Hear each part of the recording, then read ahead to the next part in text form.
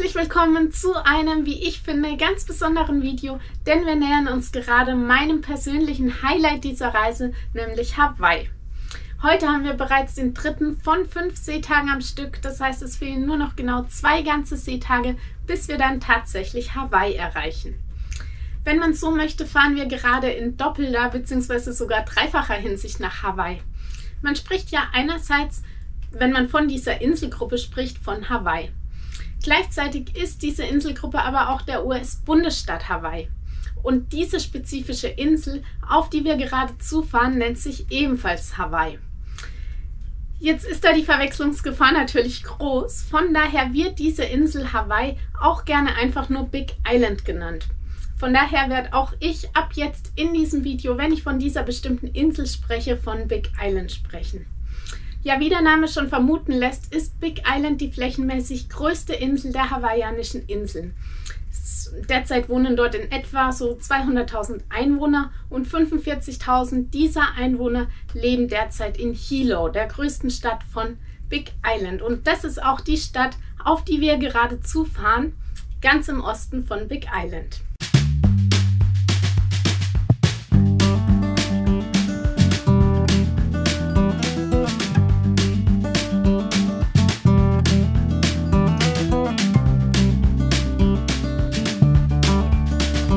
Das hier ist heute ein hawaiianisches Essen, also ist ganz typisch in Hawaii, diese Kombination aus Reis, Fleisch, einem Spiegelei und so einer braunen Bratensoße, also vermutlich Bratensoße.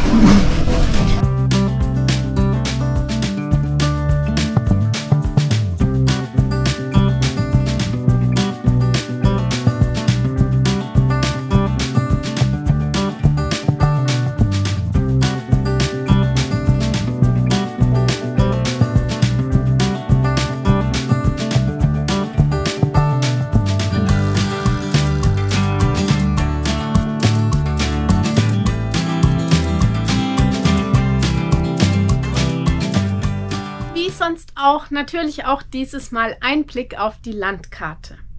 Wir sind hier abends in San Francisco gestartet und seitdem für fünf Tage unterwegs hier rüber nach Hawaii und man sieht es ja auf der Karte auch ganz schön. Die eindeutig größte Insel ist Big Island, wo wir hinfahren werden.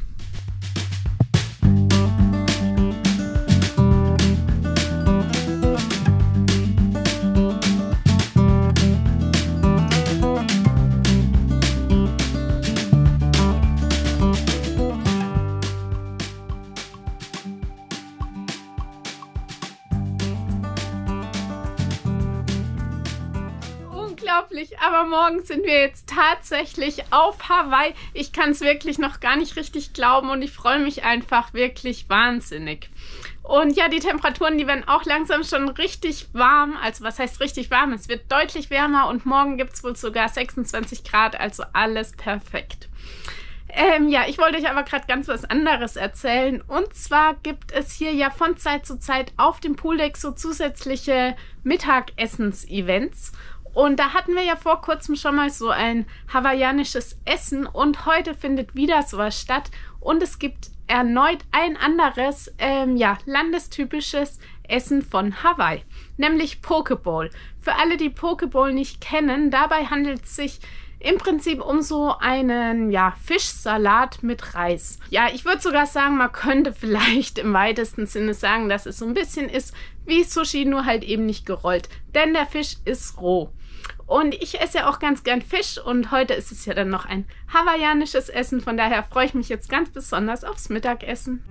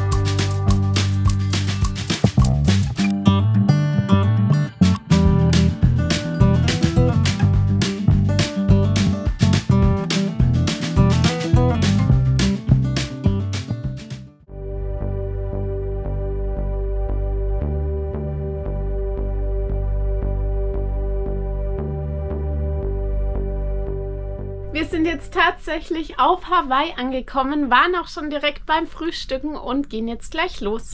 Wenn man hier mal aus dem Fenster schaut, dann wirkt es gerade sogar ein bisschen sonnig, aber es hat auch schon die ganze Zeit geregnet, von daher hoffe ich jetzt wirklich, dass das Wetter sich positiv entwickelt. Wir haben für heute einen Mietwagen gebucht, den werden wir jetzt gleich am Flughafen abholen, da steht er nämlich. Und dann werden wir mal in Richtung Norden ähm, an der Ostküste entlangfahren. Wir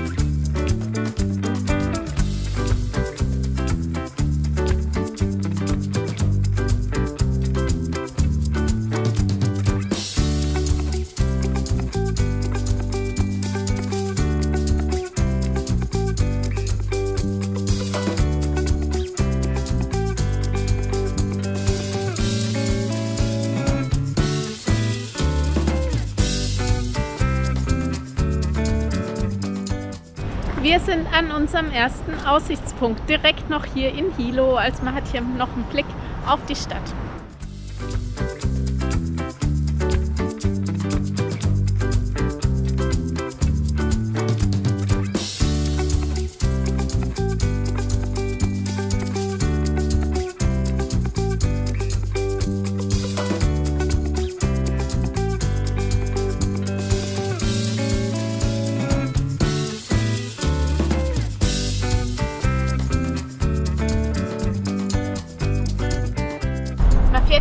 Über so Brücken, wo man gar nicht richtig merkt, dass es Brücken sind, wo dann einfach so rechts und links von der Straße ein großes Tal ist und die Natur ist wirklich der Hammer. Also da stehen dann wirklich wahnsinnig viele Palmen. Ähm, es ist total grün, richtig, richtig schön.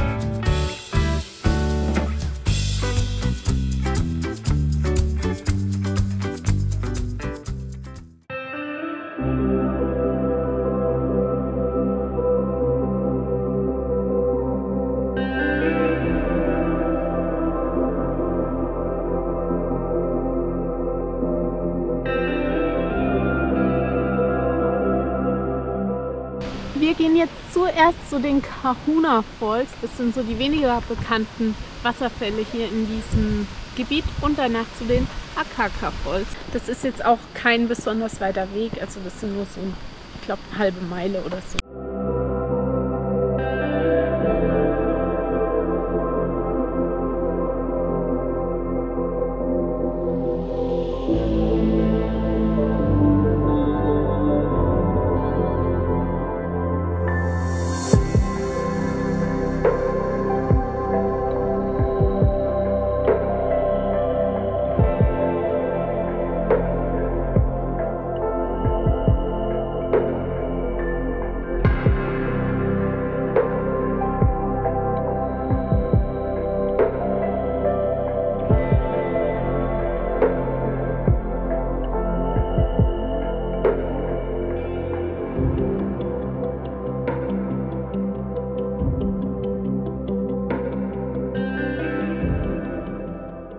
Also hier ähm, auf Big Island ist uns jetzt auf jeden Fall schon aufgefallen, dass echt alles so groß ist, also diese ganzen Gewächse, die man auch so von Deutschland kennt.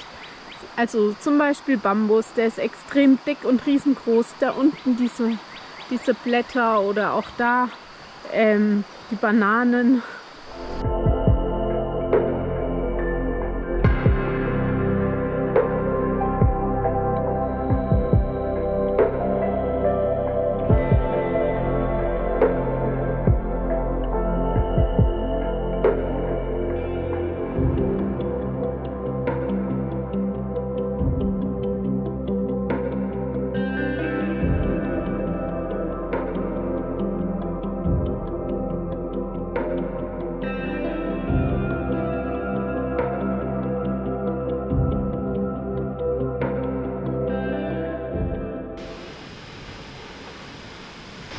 Unglaublich, die Natur. Also hier ist jetzt der Wasserfall zu sehen und der ist einfach echt riesengroß. Also man sieht gar nicht, wo der dann unten aufkommt.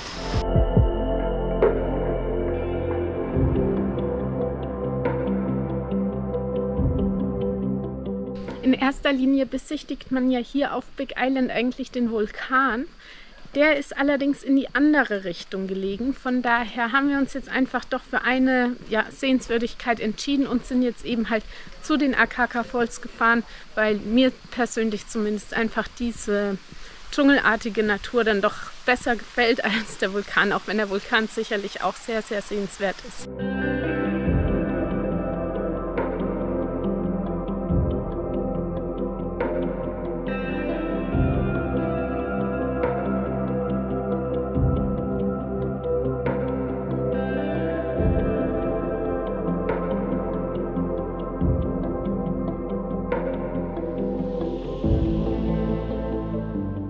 Als wir gerade zu den Akaka Falls gelaufen sind, haben wir uns plötzlich gewundert, weil es einfach so ähm, ja, aus dem Nichts von den Bäumen geregnet hat. Also es war jetzt, es ist halt runtergetropft und es war eigentlich blauer Himmel. Und dann haben wir am Ausgang noch andere Leute vom Schiff getroffen und die haben uns erzählt, dass es wohl ein Erdbeben gegeben hat. Und das waren dann halt so ähm, ja, Auswirkungen noch von dem Erdbeben und man hat es wohl an anderen Stellen von Big Island stärker gespürt. Ich muss euch jetzt noch kurz hier unser Auto zeigen. Ich würde mal sagen, welcome to Jurassic Park. Wir sind hier mit dem Jeep jetzt unterwegs durch den Urwald von Hawaii.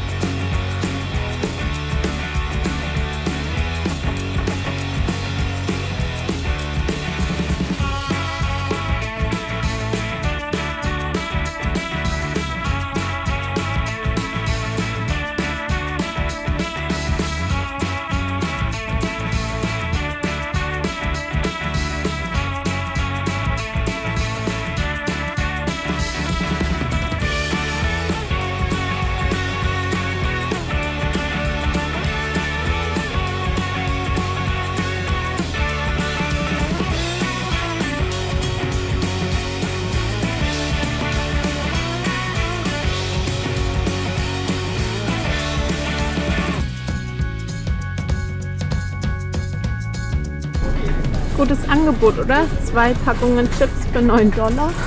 Zur Alternative stehen würden hier eine Packung für 6,79 oder hier drüben auch so ein Special Offer für 6,29. Jetzt habe ich doch noch hier ein günstiges Angebot gefunden für alle, die gern Chips essen. Zwei für 7. Eigentlich 6,49.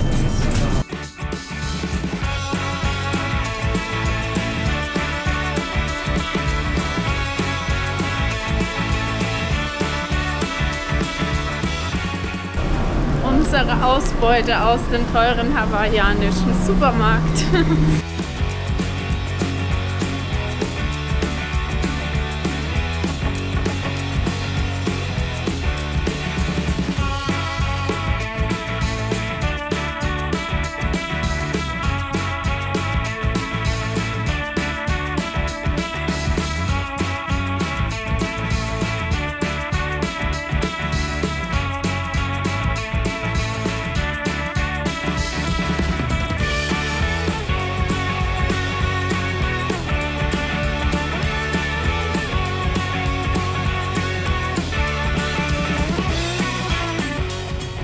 jetzt doch noch in den Süden gefahren und nach einem kleinen Stopp im Supermarkt auch angekommen hier in dem Hawaii Volcanoes National Park.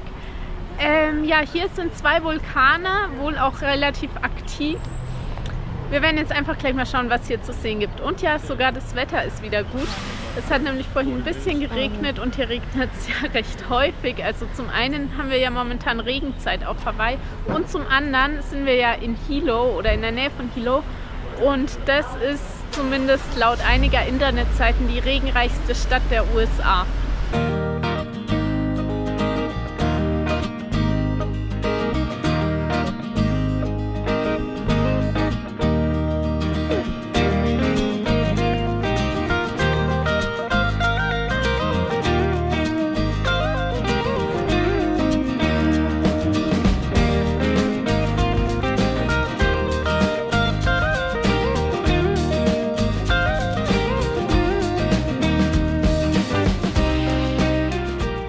Unser erster Stopp sind hier diese dampfenden Löcher. Und dieser Dampf, der ist richtig warm. Also man merkt auf jeden Fall, dass es ein Vulkan ist. Und es stinkt auch so ein kleines bisschen. Und auch hier hinter mir, ich hoffe, dass man es auf dem Video auch ein bisschen erkennen kann, ist es nicht so, dass es brennt, sondern es dampft halt einfach aus der Erde.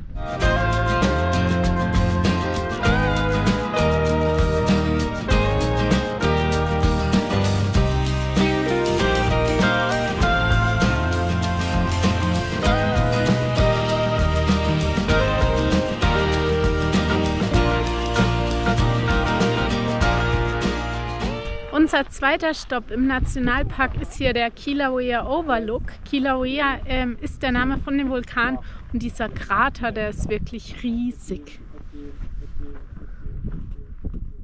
Und man sieht halt auch wieder richtig gut, wie der dampft.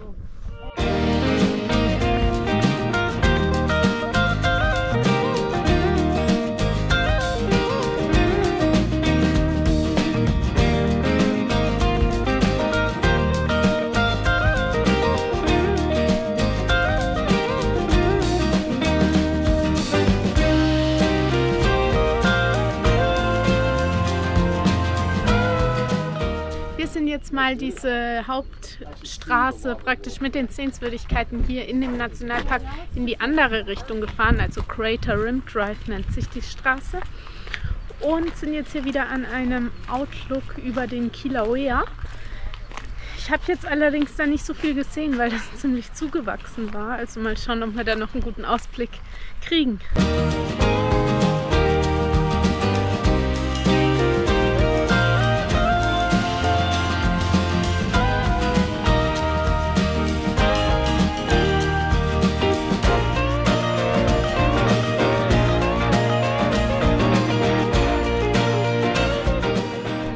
wird ein bisschen gewandert, also allzu weit wird es ja glaube ich nicht sein.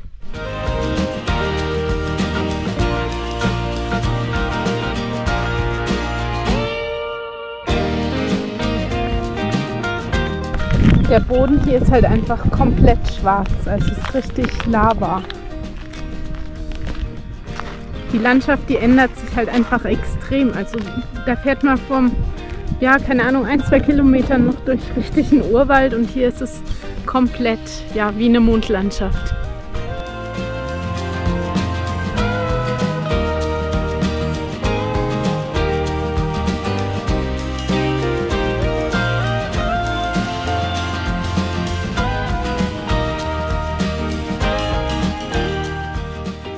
Und hier hat man schon wieder so einen guten Ausblick. Und ich glaube, man kann es gar nicht richtig erkennen, aber ganz da unten, da laufen tatsächlich Leute spazieren.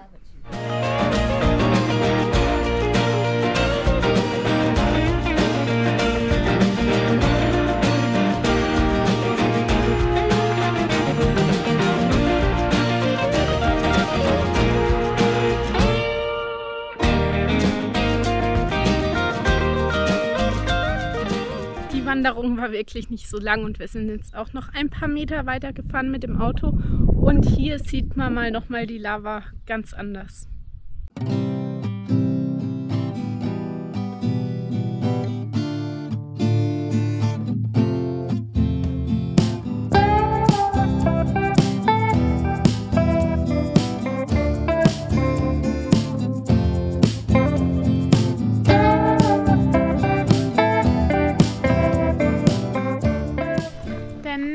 Stopp ist die Lavahöhle. Und zwar hat hier die heiße Lava eine Höhle im Berg gebildet.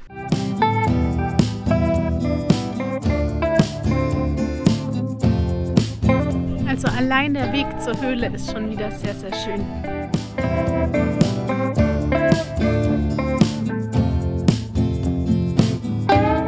Wir nähern uns der Höhle und es wird schon etwas kalt.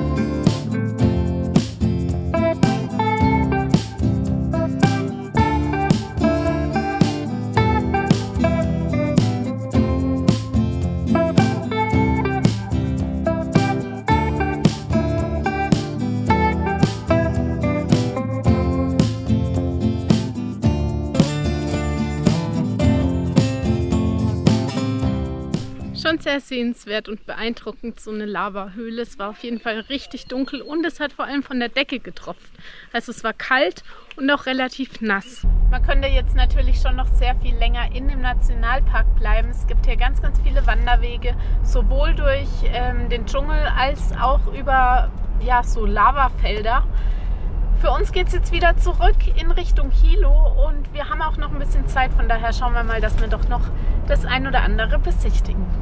Bye.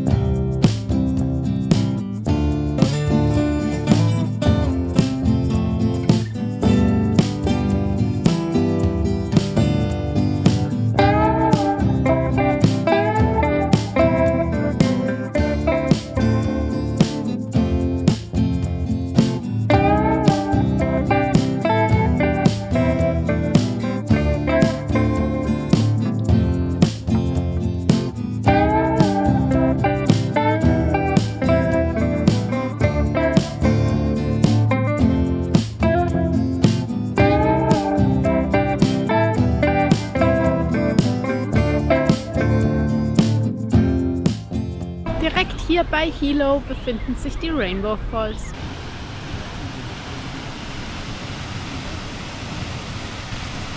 Also der Wasserfall, der macht jetzt auf jeden Fall doch mehr her als erwartet.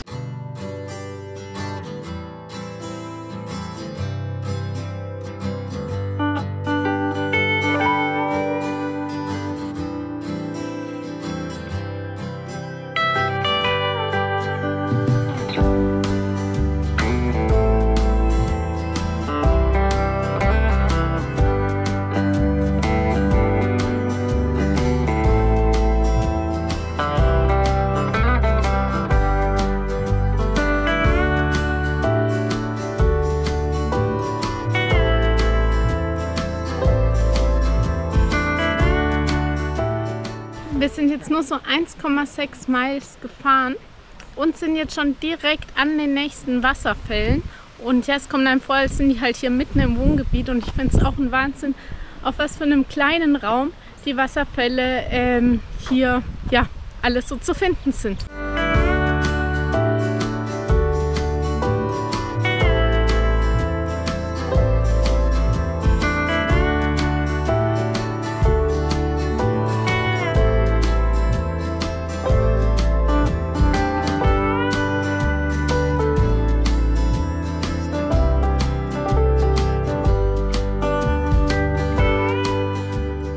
Die Rainbow Falls und die PP Falls, bei denen wir hier jetzt gerade waren, sind beide übrigens in dem Wailuku River State Park. Der kostet aber keinen Eintritt.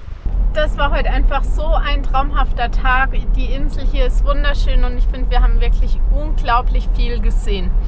Wir werden jetzt langsam auch schon zurückfahren und dann das Auto abgeben. Ich habe jetzt heute, glaube ich, auch echt schon viel erzählt. Von daher will ich gar nicht mehr allzu viel zum heutigen Tag sagen. Verabschiede mich und freue mich dann aufs nächste Video.